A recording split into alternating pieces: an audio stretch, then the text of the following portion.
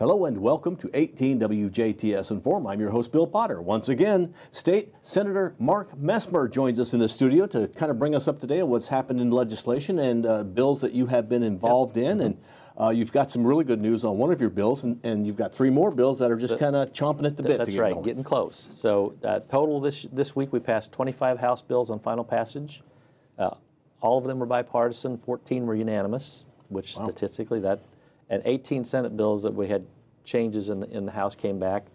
Uh, 16 were bipartisan and 11 were unanimous. So I got a, got a lot done on the floor this week. And one of the bills that I had sponsored, I worked on with Representative McNamara out of at Mount Vernon.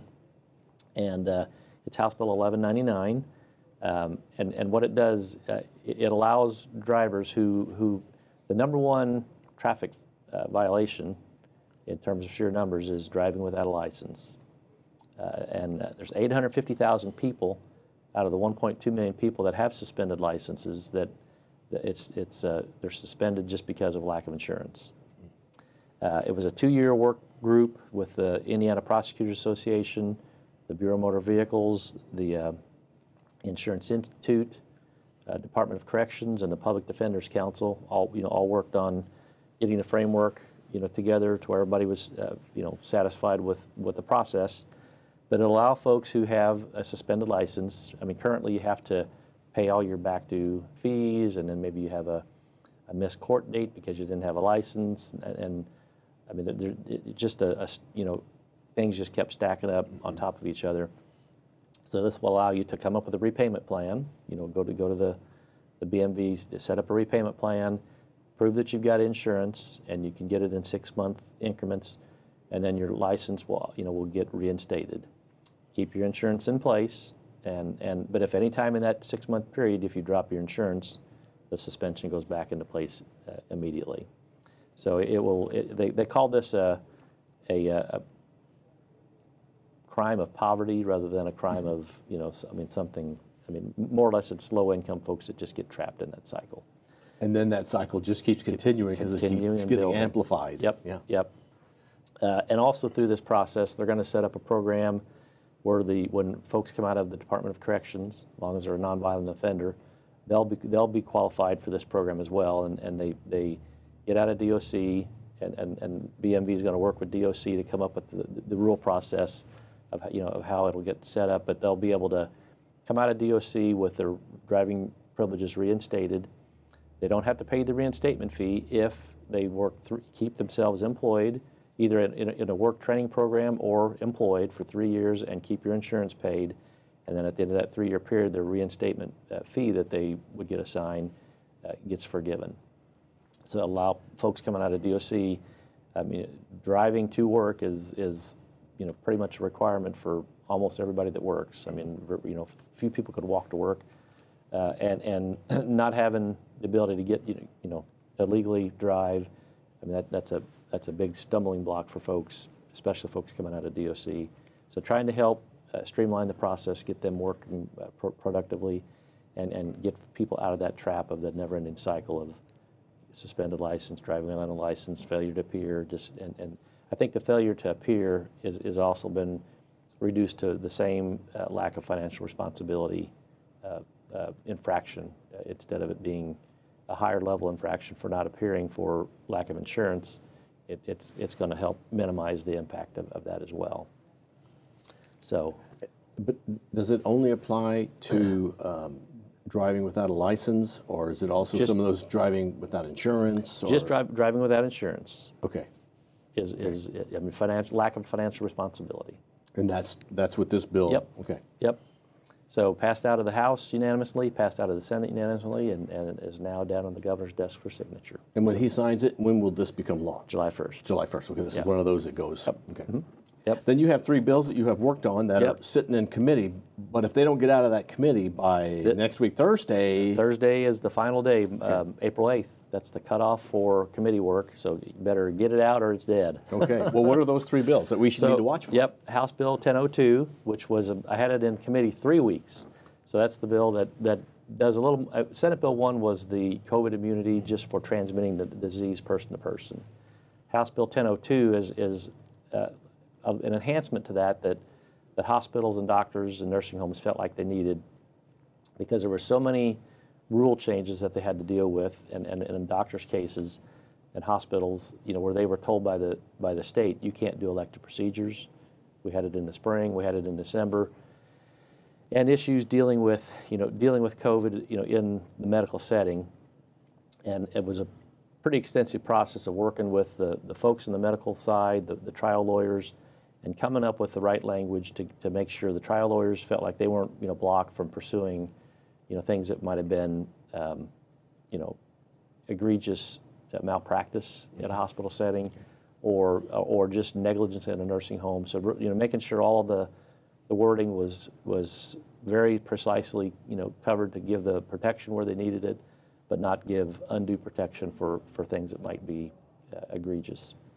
So that got out of committee uh, on Wednesday uh, on a uh, nine to one vote. So one guy just didn't get a chance to read it ahead of time. I think I'll probably be able to get him to support it on the floor.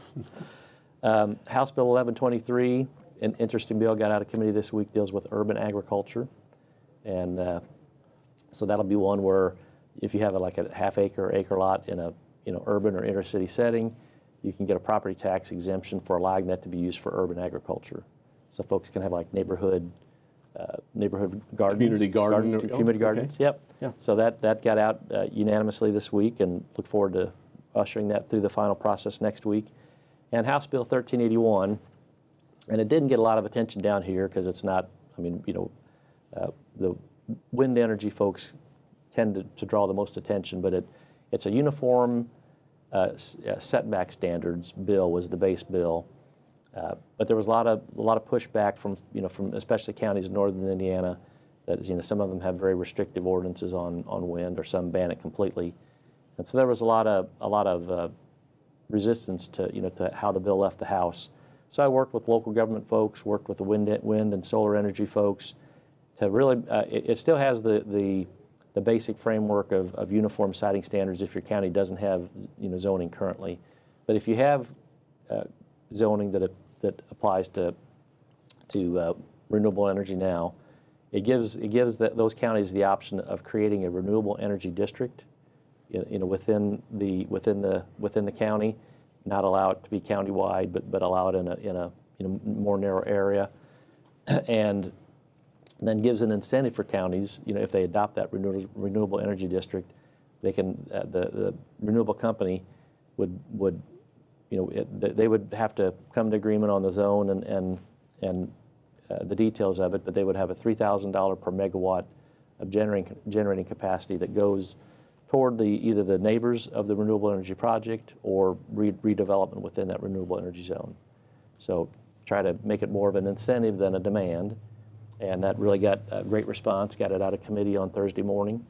And a lot of work with renewable companies and, and local government folks to, to get that one narrowed down to be uh, much more palatable for everybody. Now, these are out of committee. Out of committee. So that means they'll go on the floor for a vote. next Then they'll go to the House.